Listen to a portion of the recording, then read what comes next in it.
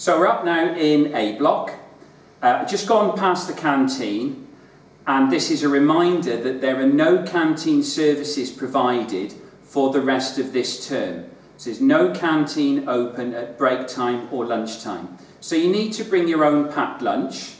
The water fountains will also not be in place because there's a risk of contamination and congestion by the water fountains. So you'll need to bring enough water for the day. If the weather is hot, if you've got an ice block that you can bring with your lunch, that will also help keep that fresh. So, also by the library, the library isn't for general use on the reopening. That's going to be used for the childcare hub for the students of parents that are the key workers. So they'll be based in the library for much of the day and then also to show you the toilet facilities. Each group will be allocated a toilet area for the day.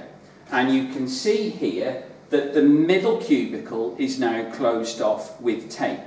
So the toilet, we've got two cubicles, but it will be one person in at a time. Again, you can see the social distancing two metre tape on the floor.